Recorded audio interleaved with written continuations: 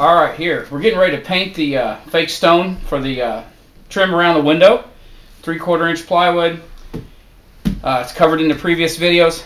I just cut that out the jigsaw, so that exterior paint on it. The grout lines are painted in with uh, Master's Touch acrylic paint, as you can see there. Hobby Lobby used the 40% off coupon. Uh, you'll look at the different sponges. The natural sea sponges seem to wring out pretty good and have a lot of nice texture on them.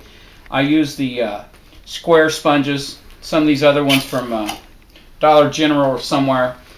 Uh, they're moist, but not very wet at all. Okay, I have a thing of water over here off camera that I rinse them out in.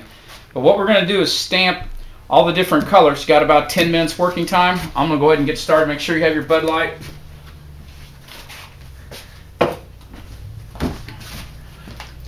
Um, yeah. Stop it for a second.